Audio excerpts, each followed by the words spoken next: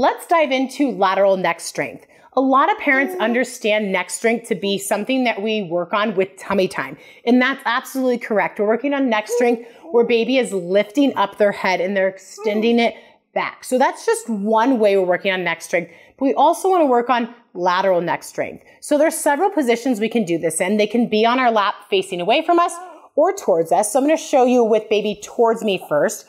And I'm going to just slowly take baby out of a center position. So he's centered right now. And I'm just going to lean him. He's wanting to use his legs. Lean him to the side and see that he's keeping his head in line. If I were to bring him too far to the side and his head was collapsing, whether it's his ear to his shoulder, he's rotating away, he just can't keep his head in control, then I would just not go into a harder position. So I would go centered into a position that's, yeah, is that easy there? And then I would just slowly lean him to the side. And once I started seeing that it was too hard for him, that's where I would stop. So let's see if he can stop standing up. You just want to stand on me, don't you?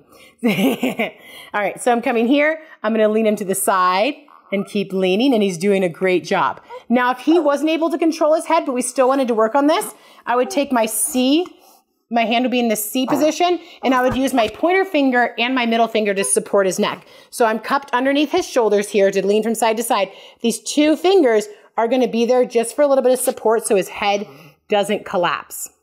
So we can do it them facing. We can do it with them facing away. So we can lean from side to side. So again, we're just going until it becomes a challenging movement for him.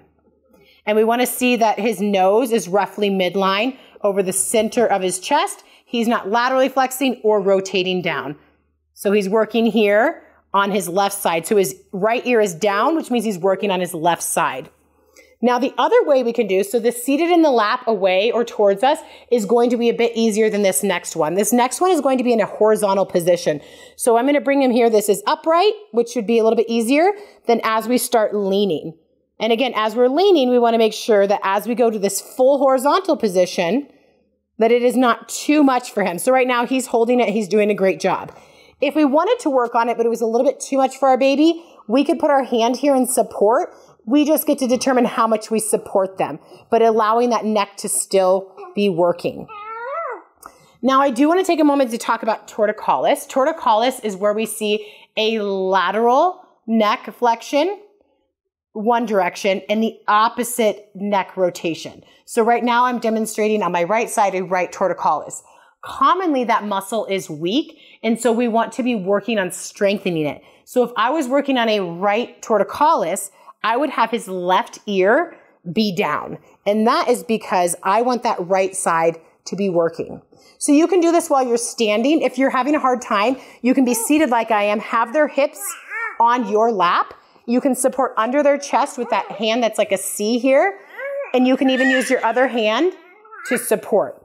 Or if they're strong enough, you can just come up under and have them working. This is something where you only need to hold each side for roughly five to 10 seconds if they allow you to. And if you can only get in two seconds, that is totally fine. We will work up to longer periods of time, but we don't need to be going past 10 seconds. That is plenty of time working on that lateral neck strength. So again, we can be working on it in a seated position away from us, towards us, or in our arms where we're supported in our hip, or we can be standing or we can do it seated and in the air going towards a full horizontal position. And again, we can also be using support with our fingers or with our hand, depending on which movement you decide.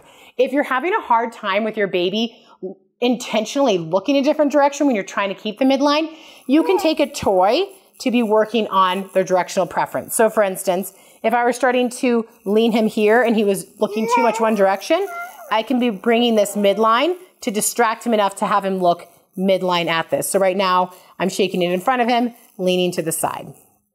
So again, that is working on lateral neck strength.